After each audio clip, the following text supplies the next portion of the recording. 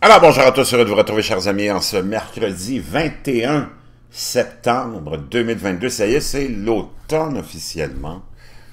8h43 heure du Québec, j'espère que vous allez bien malgré le désordre mondial. Mais surtout malgré la misère qui s'installe dans nos pays. Qui l'eût cru qu'un jour on vivrait ça dans nos pays occidentaux évoluer, avancer, dominant et riche, que la classe moyenne souffrirait, disparaîtrait dans un glissement de terrain vers le bas.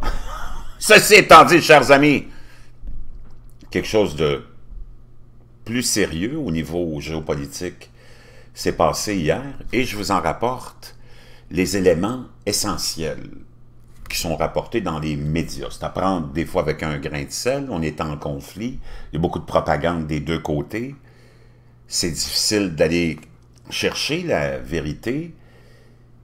Qu'est-ce que la vérité? C'est une autre question existentielle. C'est selon nos vues et nos croyances, notre perception de la vie et des choses, mais il y a quand même de l'information à déchiqueter, à analyser. Mais il faut que tu fasses attention quand tu vas chercher tes informations dans tous les médias, qu'ils soient alternatifs ou de masse, c'est rempli de propagande. Il n'y a personne qui est neutre. Ça, il faut le comprendre. Il y a toujours une intention derrière une... À moins de faire juste un, un article descriptif de quelque chose, il y a toujours une intention derrière un reportage. Toujours. Que ce soit intentionnel ou non. Donc, c'est très important d'être très, très, très prudent. Pendant ce temps-là, on a beaucoup, beaucoup de choses qui se sont dites hier concernant la situation géopolitique mondiale et le conflit en Europe. D'abord, Vladimir Poutine, dans un discours, ça nous est rapporté par le Daily Mail d'Angleterre, UK, a dit qu'il ne bluffait pas et il a menacé l'Occident d'armes nucléaires au-dessus de l'Ukraine, disant aux dirigeants « Je ne bluffe pas ». Menace nucléaire de Poutine contre l'Occident, Vladimir prévient les alliés de l'Ukraine qu'il utilisera des armes de destruction et il annonce la mobilisation de 300 000 soldats supplémentaires et déclare, et je ne bluffe pas. Donc, c'est certain qu'on est au milieu d'un conflit qui dure et qui va durer très longtemps, et Poutine le sait, tout le monde le sait. Moi, je vous l'avais annoncé que ça durerait des années, selon les renseignements américains, ils te l'ont dit. Comme je vous ai rapporté avant le conflit, ceux qui me suivent, puis ceux qui me suivent depuis peu, retourner dans la vidéographie, dans toutes mes vidéos, et je rapportais tout ça bien avant le début du conflit, toutes les informations qui étaient envoyées par les services de renseignement américains, parce que ce conflit-là en, en, Europe a été initié par les services de renseignement américains, par le Pentagone, par le complexe militaro-industriel américain. On le voulait. On voulait ce conflit-là parce que Maintenant, c'est des milliards et des milliards qui coulent vers l'Ukraine. Un gouvernement qui est souvent accusé de corruption, un gouvernement qui est rempli d'oligarques, puis on, a maintenant un réseau, hein, des, les gouvernements, les gouvernements, le gouvernement américain, entre autres, envoie des milliards et des milliards qui ne sont pas contrôlés en Ukraine. Et au gouvernement ukrainien, que beaucoup qualifie de corrompu et rempli d'oligarques. Donc, il y a beaucoup, beaucoup de... Ça va durer longtemps parce que c'est un puissant fond qu'on veut avoir. Et là, naturellement, tu as beaucoup, beaucoup de propagande qui se dit des deux côtés. Et euh, le Daily rapporte que le despote tu vois déjà comment on décrit Poutine, le despote désespéré, a également annoncé la mobilisation de 300 000 réservistes, première mobilisation russe depuis la Seconde Guerre mondiale. Donc, et ça c'est vrai, ça a été annoncé. Et euh, vous avez le discours de Vladimir Poutine qui est là dans le lien euh, je vous laisserai euh, ça dans la boîte de description. Donc, il y a beaucoup, beaucoup de, de, rhétorique. Naturellement, tu envoies des messages pour essayer de faire peur à un, faire peur à l'autre. Et c'est certain que Poutine sait très bien que tout ça et le gouvernement ukrainien est manipulé par les États-Unis, par le Pentagone, par le complexe militaro-industriel. Et c'est c'est même pas euh, subtil, comprends-tu? On se liche les babines, comme on dit, aux États-Unis, que ce conflit-là est enfin éclaté et que, enfin, la Russie soit mise au banc des nations qui ont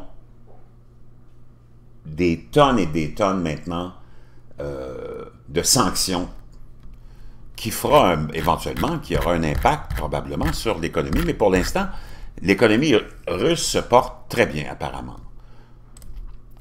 Donc la colère de Vlad, nous rapporte le US Sun, euh, est à peine voilée et il déclare « Je ne bluffe pas dans un discours effrayant ». Donc le US Sun revient sur la même nouvelle euh, qui est rapportée par le, le Daily Mail. Vladimir Poutine déséquilibré si on nous le dit, donc un Vladimir Poutine déséquilibré, a fait une menace à peine voilée à l'Occident.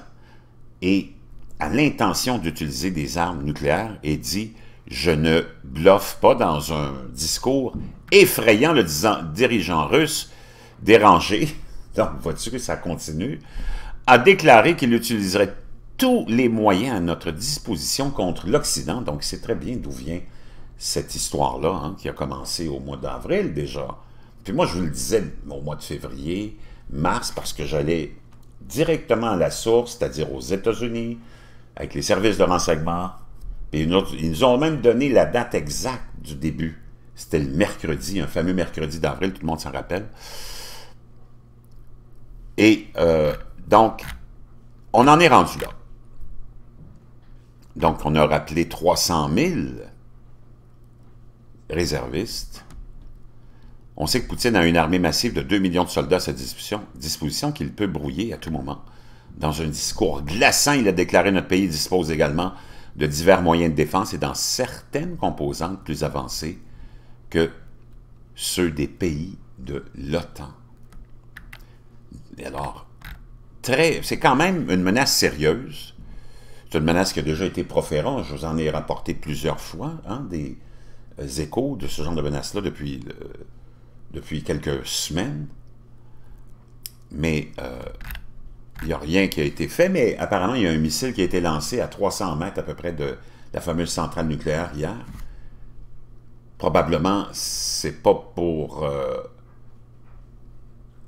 toucher les, réacteurs, ce serait apparemment juste, selon certains hauts responsables américains, pour la rendre inopérante pour faire en sorte qu'elle soit déconnectée du réseau électrique parce que l'hiver s'en vient et pour, naturellement, compliquer la vie euh, des gens là-bas.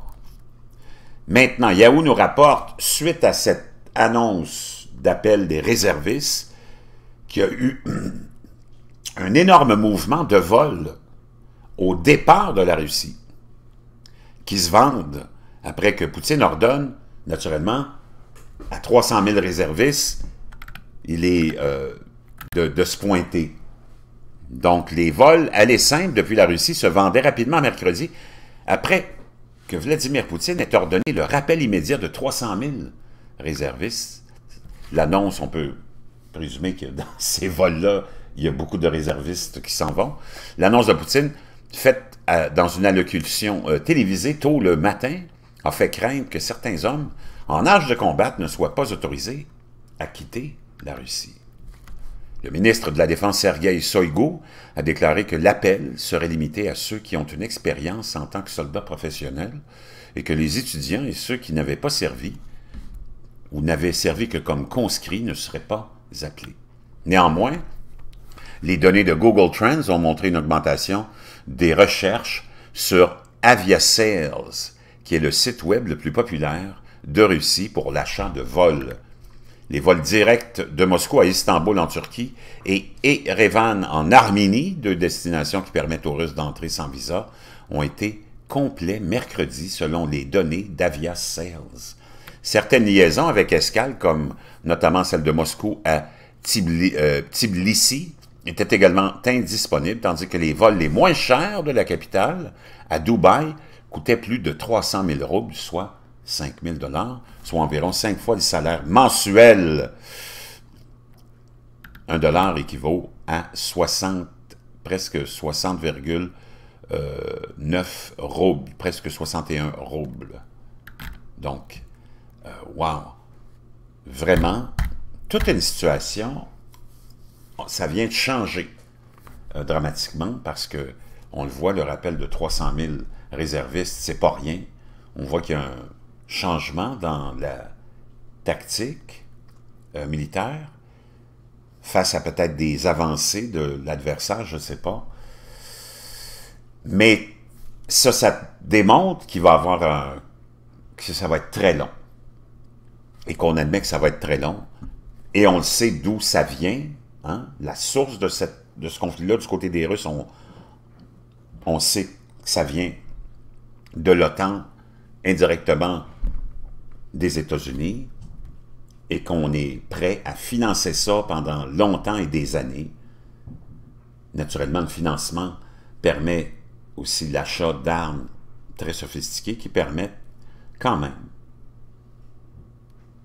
aux Ukrainiens de faire des, des gains majeurs. Donc, comment ça va se terminer, je ne sais pas, mais quand tu vois des, sans cesse des références à des menaces nucléaires ouvertement faites, ça peut arriver que finalement, on finisse par la mettre en œuvre puis l'utiliser, cette arme nucléaire-là. Espérons que non. Je vous laisse ça dans la boîte de description. Je vais juste vous donner un bref aperçu de ce qui s'est passé dans les dernières heures concernant cette histoire-là.